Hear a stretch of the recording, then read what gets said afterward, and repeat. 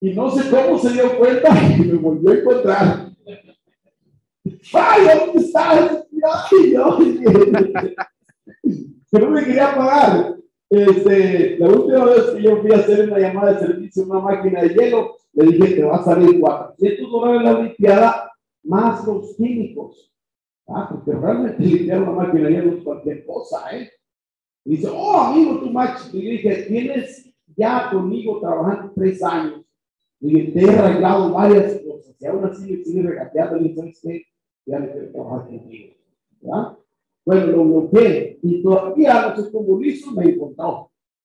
Ya me dijo mi, mi secretaria, dice, llamó un señor que se llama Sally, dice que tiene cuatro, cuatro este, gasolineras que te anda buscando. Dice que no le contestes. Le dije, porque lo tengo bloqueado. Le dije,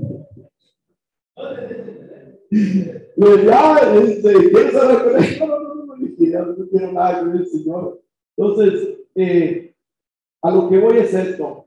El compresor es una parte muy importante y cuesta caro. Entonces, usted siempre saque sus valores que debe de ser, como debe de ser para que usted eh, pueda dar un diagnóstico acertado al cliente. Recibidas cuentas en cinco Face, así se debe detectar el trabajo de la bobina. Una bobina puede, o la bobina puede estar bien, pero el compresor puede estar atorado mecánicamente o descompuesto, y eso no quiere decir que esté bueno.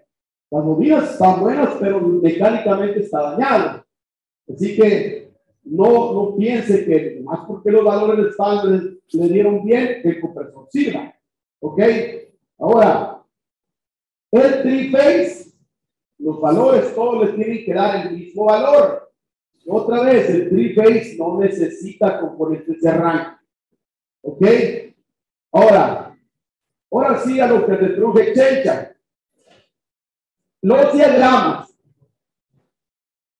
Los diagramas ¿Puede mover la camioneta azul? Sí, sí, sí. Los diagramas con los que vamos a trabajar en, el libro. Si me ayuda por ahí a buscar los diagramas eh, a, la, a, la, a la edición, el otro día los encontré aquí, más que se perdieron aplicaciones y motores. Wiring diagrams, así se llaman. Wiring diagrams.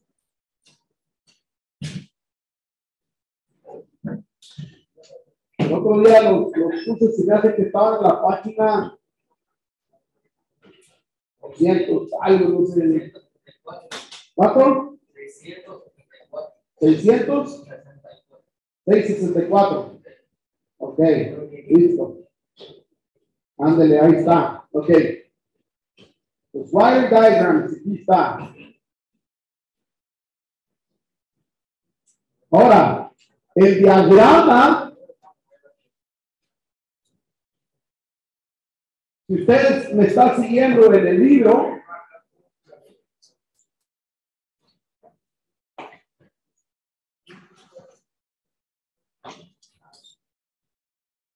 usted me está siguiendo en el libro, en la página 669 tenemos un diagrama completito de una, de una máquina. Este es un uh, eléctrico. 100% eléctrico. Ahí en el libro usted lo puede mirar. Eh, le presto un libro eh, El Mundo porque lo pueda ver usted. Eh, a lo mejor usted lo, está viendo en otra página. Okay. este, este de aquí. Ahora, ese, ese es eléctrico. Noten ustedes allí los puntos de conexión y todo de ese, de ese cableado.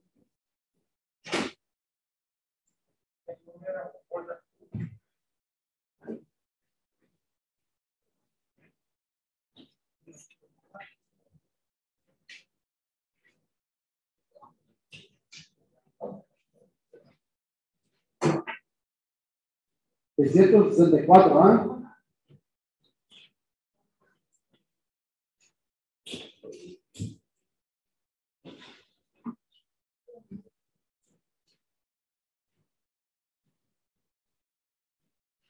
669 es un, un diagrama para los que están en Zoom.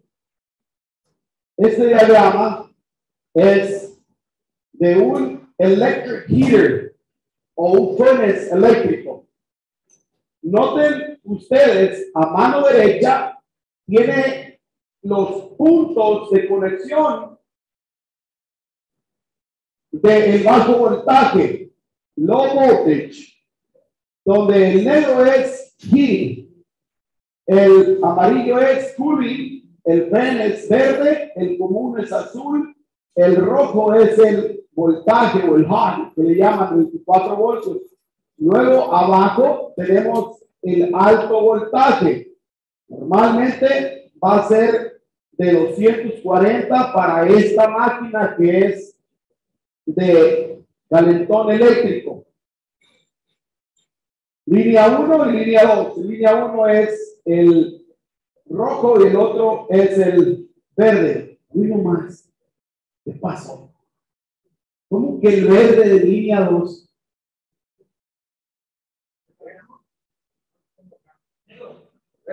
Tiene que ser negro. Oye, ¿qué tantas globos se encuentra uno aquí, no? Ya, ¿a quién se le ocurre poner un cable verde o aquí ponerlo verde en alto voltaje? ¿Verdad? Hay que demandarlo, porque ustedes van a pensar que es. De modo que, si usted sigue el cableado, tenemos el termostato. Primero tenemos el termostato arriba, tenemos sus conexiones, el verde, el amarillo, el rojo, el W, que viene siendo el negro, y luego el 4, que viene siendo el rojo o el power.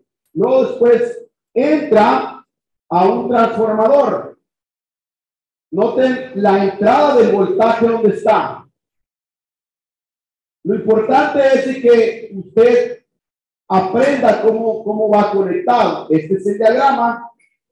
El, el primero de arriba es un diagrama pictorial. El de abajo es un diagrama esquemático. Es el mismo que yo tengo acá.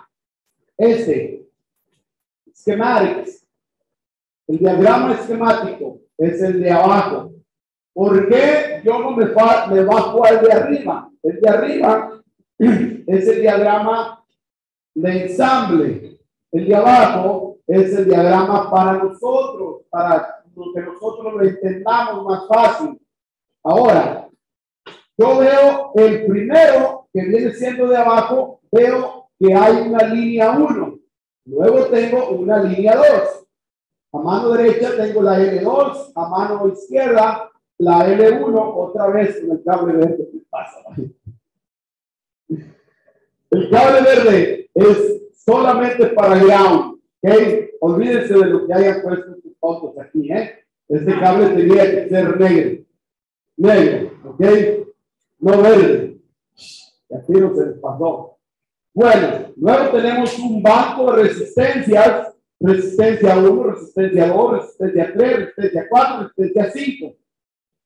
Luego, antes de entrar, nótense que en la línea 1 y la línea 2 tenemos un símbolo abajito de los números. Ese símbolo, ¿qué significa?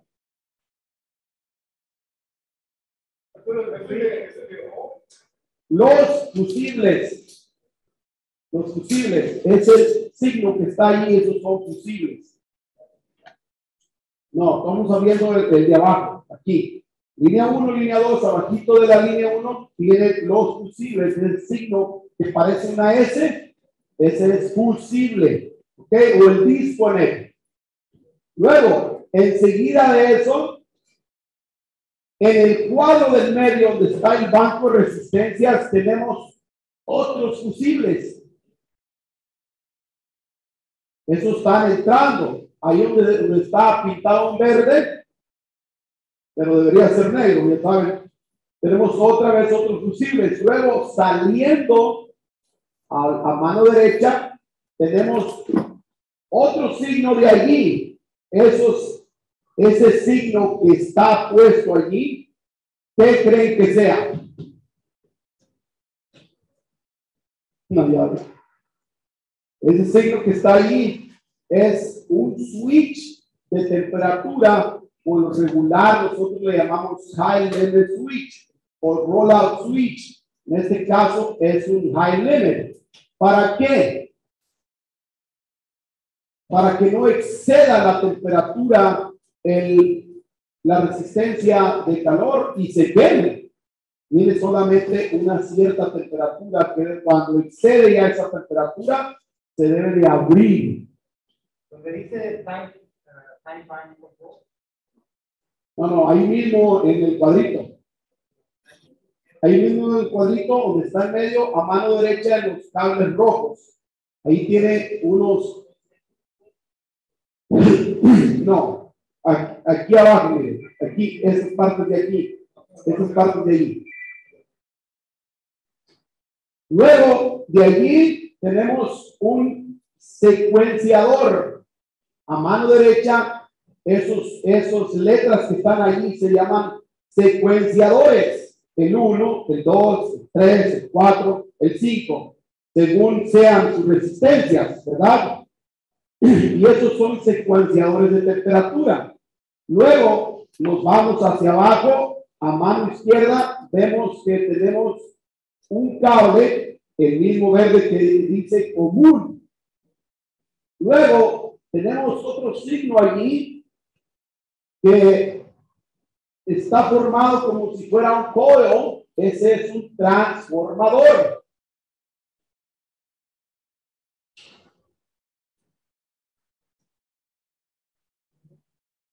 Sí.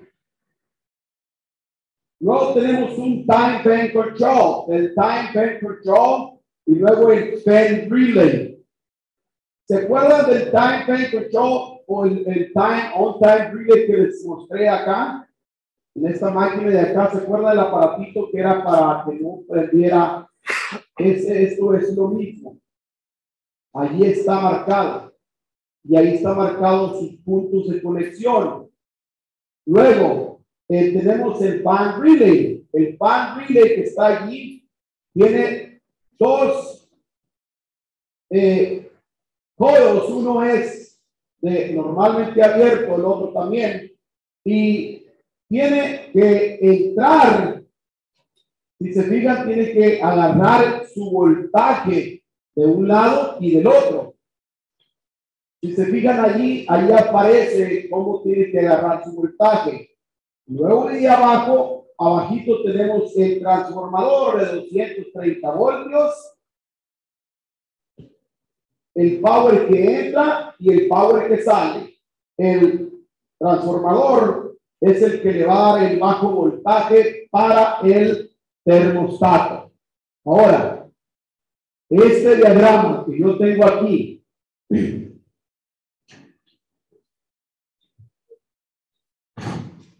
Fíjense cómo se puso de este lado. Yo tengo una línea que es de 24 volts, de, de 110, 115, y la otra es el neutral. Yo, en, mi, en la fase más sencilla, quiero que hagan esto ahí mismo en la tabla. Noten que yo tengo primero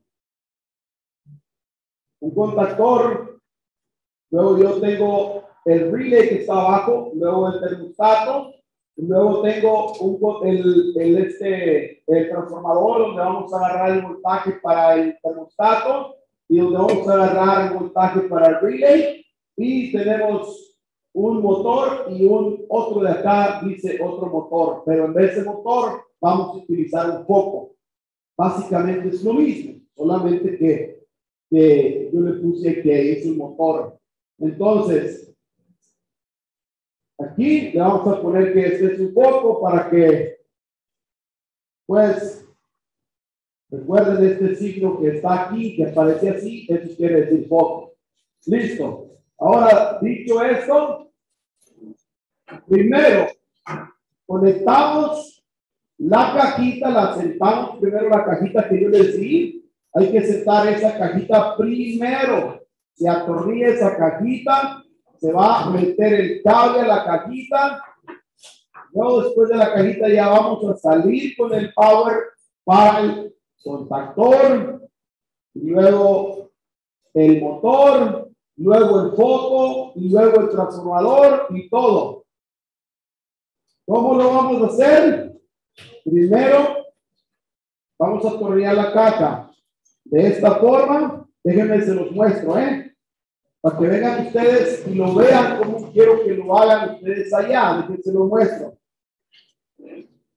Tenemos un contactor, tenemos el otro. ¿Dónde está el transformador? ¿Dónde está el transformador? Oh, acá está. Ok. No, no, no. Oh, nomás me dieron un transformador, ¿eh? Ok, ahorita les traigo otro. Bueno.